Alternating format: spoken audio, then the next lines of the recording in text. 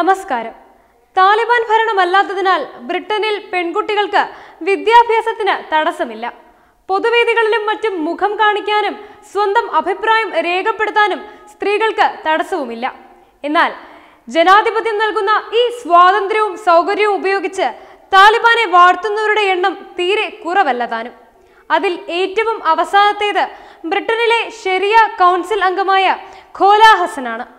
താലിബാന്റെ അധികാരത്തിലേക്കുള്ള മടങ്ങിവരവ് ബ്രിട്ടനിലെ മുസ്ലിം ജനത സഹർഷം സ്വാഗതം ചെയ്യുകയാണെന്ന് അവർ പറയുന്നത്. സ്ത്രീകളുടെ അവകാശങ്ങൾ ഹനിക്കുകയില്ലെന്നും ഇരുപത് വർഷം നീണ്ട യുദ്ധത്തിൽ എതിർപക്ഷത്ത് നിന്നവരോട് പ്രതികാര ബുദ്ധിയോടെ പെരുമാറുകയില്ലെന്നും രണ്ടാം താലിബാൻ പറഞ്ഞ കാര്യങ്ങൾ എടുത്തു കാണിച്ച് അവർ പറയുന്നത് അഫ്ഗാനിൽ ഒരു പുതിയ തുടക്കമായിരിക്കും എന്നാണ്.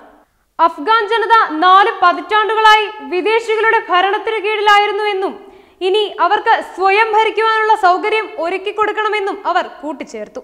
അവരുടെ ഭാവി അവർ തന്നെ തീരുമാനിക്കട്ടെ എന്നും അവർ പറയുന്നു.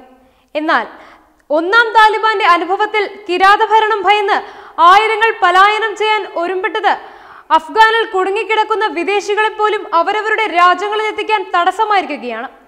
സ്ത്രീകളെയും കുട്ടികളെയും താലിബാൻ ഭീകരർ മർദ്ദിക്കുകയും ഉപദ്രവിക്കുകയും ചെയ്യുന്നതായുള്ള റിപ്പോർട്ടുകളെ പറ്റി അവരോട് ചോദിച്ചപ്പോൾ അതെല്ലാം സ്വാഭാവികമാണെന്നായിരുന്നു അവരുടെ ഉത്തരം. അവിടെയുള്ളത് ഒരു ഗോത്ര സംസ്കാരമാണത്രേ. പതിറ്റാണ്ടുകളുടെ വിദേശാധിപത്യത്തിനും ആ സമൂഹത്തിന്റെ അക്രമവാസനകളും ഇല്ലാതാക്കാൻ കഴിഞ്ഞിട്ടില്ല എന്നും അവർ പറയുന്നു. ഇത്തരത്തിലുള്ള ഒറ്റപ്പെട്ട സംഭവങ്ങൾ പെരുപ്പിച്ചു കാണിച്ച് താലിബാന്റെ ഭരണത്തെ വിശകലനം ചെയ്യരുതെന്നും അവർ പറയുന്നു. പാശ്ചാത്യ മാധ്യമങ്ങൾ എല്ലായ്പ്പോഴും ഇസ്ലാമിനെ കുറിച്ച് തെറ്റിദ്ധാരണാജനകമായ വാർത്തകൾ കൊടുക്കുവാനാണ് ശ്രമിക്കുന്നതെന്ന് അവർ പറയുന്നു.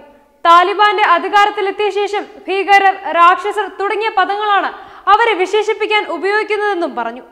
സ്ത്രീകളുടെ അവകാശങ്ങൾ ഹനിക്കപ്പെടുമെന്നും സമൂഹത്തെ നൂറ്റാണ്ടുകൾ പുറകോട്ട് കൊണ്ടുപോകുന്നു എന്നൊക്കെയുള്ള ആരോപണങ്ങൾ തള്ളിക്കളയേണ്ടതാണെന്നും അവർ പറഞ്ഞു. ഇരുപത്തഞ്ച് വർഷങ്ങൾക്ക് മുൻപുള്ള താലിബാൻ ഒരുപറ്റം വിദ്യാസമ്പന്നരല്ലാത്തവരുടെ കൂട്ടായ്മയായിരുന്നു. അന്ന് അവർക്ക് ലോകത്തെക്കുറിച്ച് പോയിട്ട് ഇസ്ലാമിനെക്കുറിച്ചും വലിയ ധാരണയൊന്നും ഉണ്ടായിരുന്നില്ല. എന്നാൽ ഇന്ന് അതല്ല സ്ഥിതിയെന്നും അവർ ചൂണ്ടിക്കാണിക്കുന്നു. അവർക്ക് ഒരു തവണ അവസരം നൽകണം. അവർ തെളിയിക്കട്ടെ. ഹസൻ വീണ്ടും പറയുന്നു. Web desk Tatwamayi news.